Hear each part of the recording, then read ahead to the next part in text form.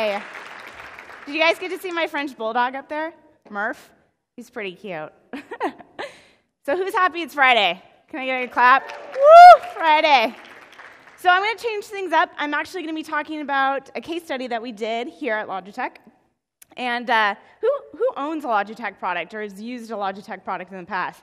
Oh, that's like almost every hand raised. I love it. I know those people in the back, the IT team, is just loving their, uh, their keyboards. Yeah! Awesome, guys. So I want to talk to you a little bit about what we did at CES. Let's see if this is going to advance. CES. Isn't it just the best? Who's been to CES? Raise your hand. A few of you. Okay, of you have been to CES, who's gotten lost? I have, a few times. Hundreds of thousands of people descend on Las Vegas every year in January. Thousands of exhibitors. And this is the program, and you can see the Logitech line just right there. so, needless to say, it's, there is a lot of fans that are trying to look at a lot of brands. And whether or not your brand is going to CES or not, CES for Logitech is social media every day. The competition for attention never ends. So, the million dollar question is how do we stand out in the chaos? How do we compete with the new TVs, the booth babes? You guys know what I'm talking about. And all this stuff. Or rather, how did we?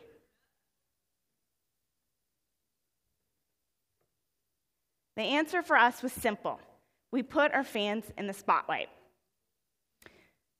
Ultimately, we decided that we wanted to make the fans own the message for us. So we educated them, we empowered them, and ultimately, we trusted them to be our brand ambassadors.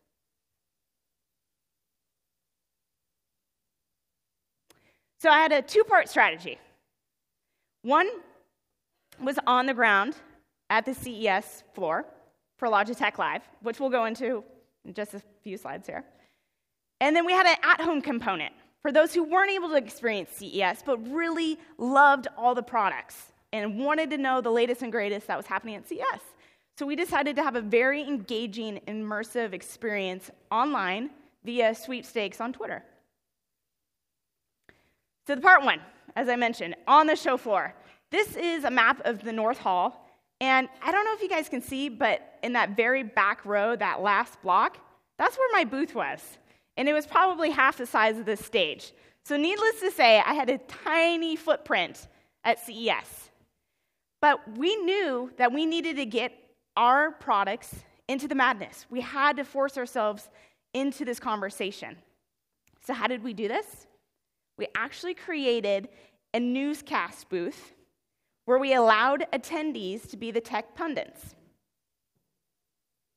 So think of this as a Ron Burgundy desk where we gave our fans the opportunity to experience the products, touch them, feel them, be fully briefed by our experts at the booth, and then I kind of threw them in front of a camera, lights, camera, action, and they went for it. And I'll show you exactly what that looks like here in a couple slides. And then the second part, again, for those who weren't able to experience CES, we gave them an opportunity to be a part of this experience by allowing them to retweet one of the fan reviewed videos, and that entered, into, entered them into a chance to win that product. So we had a sweepstake going on every hour the show floor was open. So, you guys want to see the results? Any guesses as to how many videos I was able to get produced with my team of seven? Throw some numbers at me. 3,000. Wow, that would be crazy. I wish. I wish. Close. 168 videos produced in three days. So hopefully this will go. Crank it up. You got to hear this. Hola. Hello. Aloha. Hello. Hello and welcome. Hello and Hello welcome. and welcome to Logitech Live. I am Matt Madrick. My name is Michael J. Powell. I'm Mick Frankel. I'm Julia. I'm Phil Detillo. I'm Michael Kaufman. I'm Cuthbert. I am Harvey. I'm Amanda Roberts. I'm Tyler, coming to you straight from the show floor of the 2014 Consumer Electronics Show here in Las Vegas. There are thousands of tech toys here on display. I'm here with one of my favorites. It's the G602. The Logitech Z600 Bluetooth speaker. TK820. PowerShell controller. The UE Boom. The Harmony Ultimate. Fabric Skin Keyboard Folio. The Logitech G430. UE Mini Boom. Ultra Thin Touch Mouse. And the best, best part about it, your kids will love it. And it's cute. It's fantastic. I It feels really nice. It's waterproof. Chicks love it. I would give this product uh, a 10 out of 10. Here is incredible.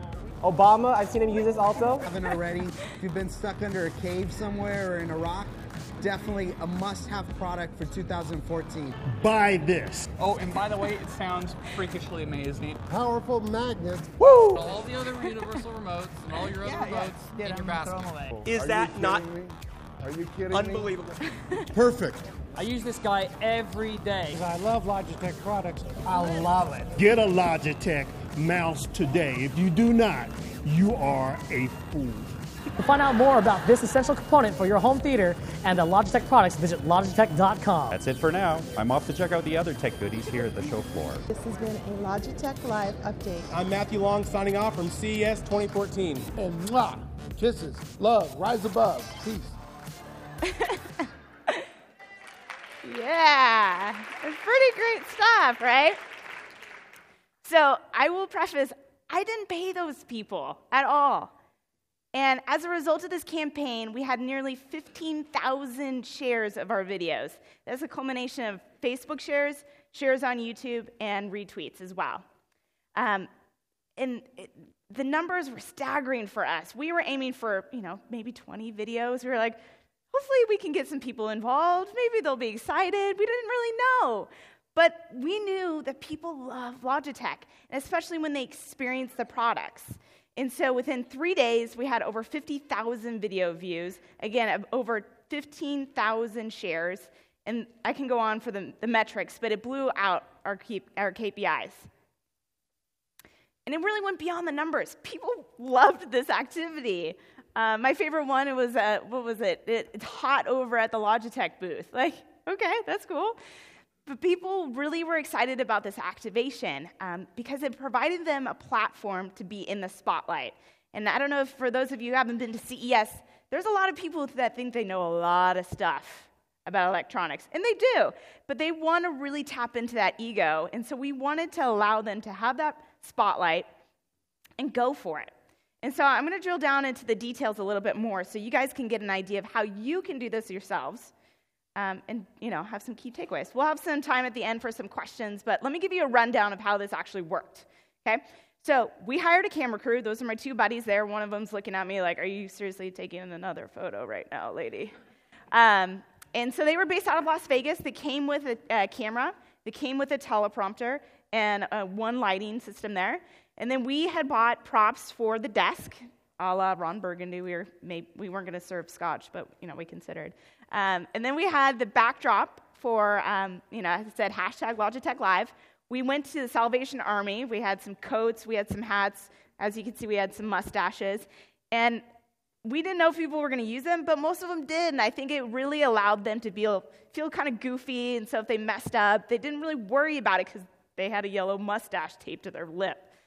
So we had this booth set up but this other section of the booth was where we had our products displayed. And so as attendees came into the booth, they were able to see the latest and greatest products. We had it broken down by our gaming products, our tablet line, our CCP line. And as they were going to experience the products, we were briefing them on a couple of the key, you know, product talking points. For instance, I would go up to someone and say, "It looks like you're loving that UE Boom. Did you know it has 360 sound? It has a plasma coating, so it's water resistant. You can take it in the shower. And it has six drivers in it. So it's a pretty awesome product. They're like, wow, that's really cool. I actually have one at home um, that I really love. And so I'd be like, that's awesome. Would you be interested in going on camera to talk about it? And a lot of times they're like, uh, what? Um, but I would say, you know what? You're, you, you obviously know about this product. How about we put you in front of the camera? We have a teleprompter that's already preloaded for that specific product that you can use or, or don't. You can just talk for 30 seconds to a minute, talk about CES, talk whatever you want. And it was a little bit of a gamble, of course. They could have gone up there and said, you know, Logitech sucks. I don't know why I'm up here. But no one did. They just went up there and they were just, they couldn't talk more nice things about Logitech. It was cool. The incentive I had for them is I had a coupon for 50% off on the spot for that particular product that they're going to review. Pretty sweet deal, right on the spot. You love this? Here you go. From there, that pitch, we um, you know, made sure that they were comfortable, they were on camera, and they just went with it. So that was kind of like the pre production slash production aspect of it. And then going into the post production, it was a little bit more of a, a, circus act, but we were able to pull it off in the sense of they shot the video. I took the little file from the, uh, the, the camera, walked it over to a desk. Here you go. They took that file, they uploaded it to Dropbox. My team in Brooklyn then downloaded it from Dropbox, edited it in real time, then uploaded it to YouTube. Then I got an email back that I was able to share with that consumer. And I said, hey, Billy, your video looks sweet. You're going to be a superstar. If your video gets 25 views or more, you're automatically entered in to win that product, no questions asked. So it was a pretty sweet incentive. And then again, back to that at home component, people who weren't able to participate at the show floor, if they retweeted a featured product that we had every hour, and it was always a fan video, they were entered in to win that product. And we are giving out products every hour the show floor is open. So I'm going to wrap up by saying this is easy to do. Granted, I had a, I had a pretty modest budget, okay? But I can promise you that you could do this with any event space or any area that you can dedicate as your own with an iPhone and simply ask people to talk about how much they love your products or your services. I used to be in B2B, and this is something that I used to do with customers all the time. Now, you don't want to bombard them and scare them and say, hey, I, I want to put you on camera, talk, talk about me and my company. That would be amazing. People aren't going to get into that. But if you have identified a passion or something that they know that is a great use, use case for that product, they're going to be happy to share. So I'm kind of going to leave this open now. I'm going to stay on stage for questions about how you guys can do this because I know there's other brands that are interested in doing this. They don't quite understand or quite know how to get people wrangled in.